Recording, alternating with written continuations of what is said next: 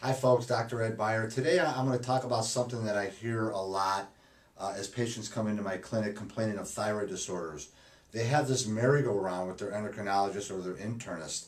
You know, they're adjusting their synthroid, their levothyroxine, and they're not feeling well, and it's just, just it's just maddening and madness. Okay, and I want to I want to go over why many of you suffer from what I call the endocrinologist merry-go-round. Okay, number one Many are not up on the current scientific literature. We have learned so much about thyroid disorders in the last five to 10 years.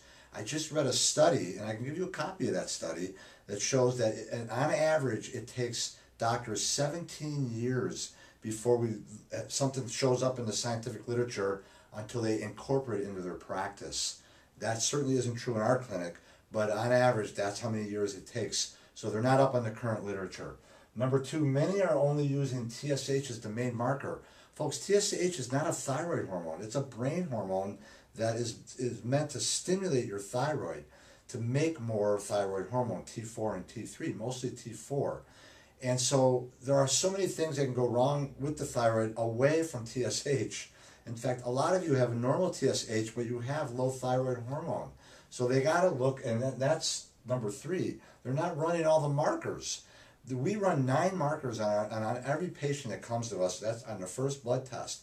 There are so many ways the thyroid can go wrong. There's dozens of ways, and you have to have all the information to figure it out. And so many of them, because they're behind in the literature, don't even know about this. So they don't run enough markers. The last reason is they're comparing you to lab ranges. You have to understand that the way a lab determines a range is they're going to take the average low and the average high of whomever's been in that lab for the last year. So if they're looking at TSH as the sole marker or maybe T4, they're going to take the average low of whoever's been in that lab and the average high for TSH or T4 uh, in the last year. Well, what kind of people go to labs?